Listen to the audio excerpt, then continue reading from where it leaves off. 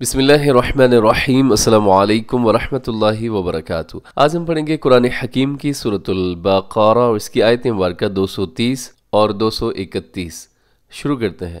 بسم الله الرحمن الرحيم. فإن طلقها فلا تحل له من بعد حتى تنكح زوجا غيره.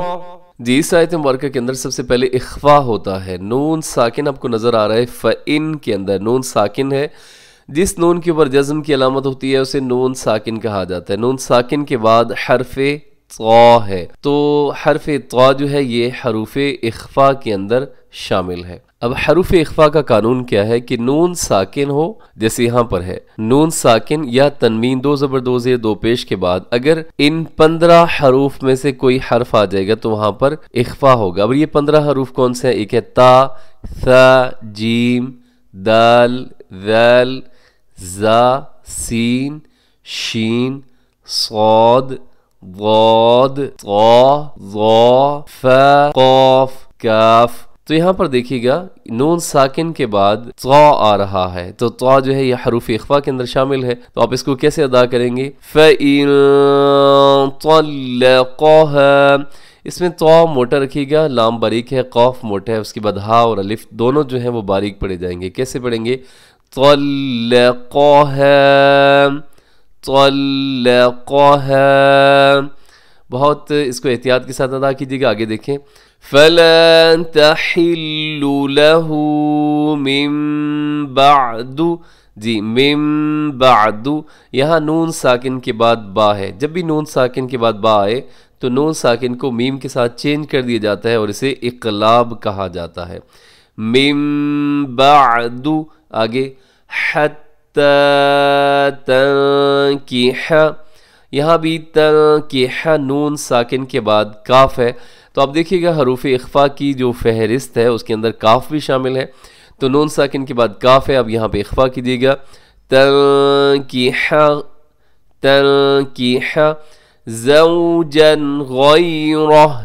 زوجن پہ تنوین ہے، تنوین کے بعد غین، حروف حلقی کے اندر یہ حرف آتا ہے۔ تو یہاں پہ ہم اظہار کریں گے زوجن غیرہ را اس کے اندر باریک ہوگی غیرہ وقف کریں گے تو غیرہ آگے دیکھیں گا فَإِن طَلَّقَهَا طَلَّقَهَا یہاں بھی نون ساکن میں کیا ہوگا اخفا ہوگا آگے فَلَا جُنَاحَ عَلَيْهِمَا أَن يَتَرَاجَعَا جی علیہما، اس کے اوپر جو مد ہے اسے مد منفصل کہا جاتا ہے، حروف مدہ حمزہ الگ الگ ہوں تو وہاں جو مد ہوتی ہے اسے مد منفصل کہا جاتا ہے۔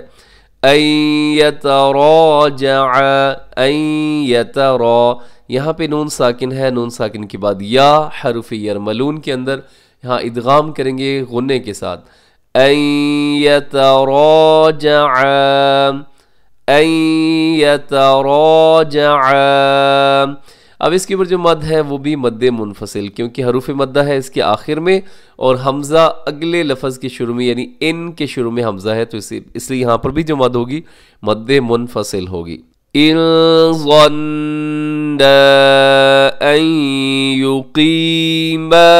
حدود اللہ این یقیم یہاں پہ نون ساکن کے بعد یا ہے، یہاں بھی ادغام ہوگا۔ این یقیم حدود اللہ یہاں لفظ اللہ کو موٹا پڑے گا کیونکہ لفظ اللہ کے پہلے جو ہے وہ دال ہے۔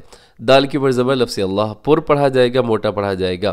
رموز اوقاف میں سے یہاں پہ تو ہے تو وقف کر دیجیے گا اور وقف جب کریں گے، زبر زیر پیش کو ساکن کر دیتے ہیں۔ حدود اللہ آگے۔ وَتِلْكَ حُدُودُ اللَّهِ۔ یہاں لفظ اللہ پور پڑھا جائے گا، موٹا پڑھا جائے گا۔ يُبَيِّنُهَا لِقَوْمِ يَعْلَمُونَ۔ لِقَوْمِ يَعْلَمُونَ۔ یہاں پہ بھی ادغام ہے غننے کے ساتھ، کیونکہ تنوین کے بعد یہاں پر یا ہے یرملون کا۔ اس آیت مبارکہ کو ایک دفعہ پھر سماعت کر لیجیے گا۔ فإن طلقها فلا تحل له من بعد حتى تنكح زوجا غيره. فإن طلقها فلا جناح عليهما أن يتراجعا. ظنا أن يقيما حدود الله وتلك حدود الله يبينها لقوم يعلمون صدق الله العظيم اس آیت مبارکہ کا ترجمہ سماعت کر لیجئے گا فَإِن پھر اگر طلقها طلاق دے دی اس کو، فلا تحل، تو جائز نہیں لہو اس کے لیے مم بعد، اس کے بعد حتی یہاں تک کہ تن کیحا وہ نکاح کر لے زوجن خاوند غیرہ اس کے علاوہ۔ فَإِن پھر اگر طلقها طلاق دے دے اس کو، فلا جناح تو گناہ نہیں ہے۔ علیہما ان دونوں پر ان اگر یتراجع وہ رجوع کر لے۔ ان بشرتے کے ظن وہ خیال کریں۔ ان کے یقیم وہ قائم رکھیں گے۔ حدود اللہ اللہ کی حدود۔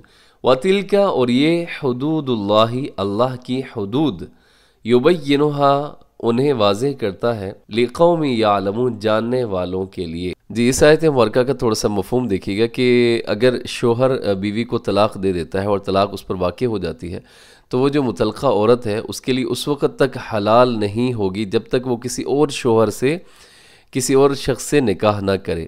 ہاں اگر وہ دوسرا شوہر بھی اس کو طلاق دے دیتا ہے، تو پھر دونوں پر کوئی گناہ نہیں ہے کہ وہ اگر چاہے، عورت تو چاہے تو اپنے پہلے خاوند کے پاس نیا نکاح کر کے دوبارہ اس کے پاس واپس آ سکتی ہے، بشرطے کہ جب انہیں یہ یقین ہو، یہ غالب گمان ہو کہ وہ اللہ کی حدود کو قائم رکھیں گے، کیونکہ یہ سب جو ہیں، یہ اللہ رب العزت کی حدود ہیں اور جو وہ ان لوگوں کے لیے واضح کر رہا ہے یعنی اللہ کریم ان کے لیے واضح کرتے ہیں جو سمجھ رکھتے ہیں۔ جی امید ہے آپ کو بات سمجھ آگئی ہوگی۔ دعاؤں میں یاد رکھا کریں، خوش رہیں۔ السلام علیکم ورحمۃ اللہ وبرکاتہ۔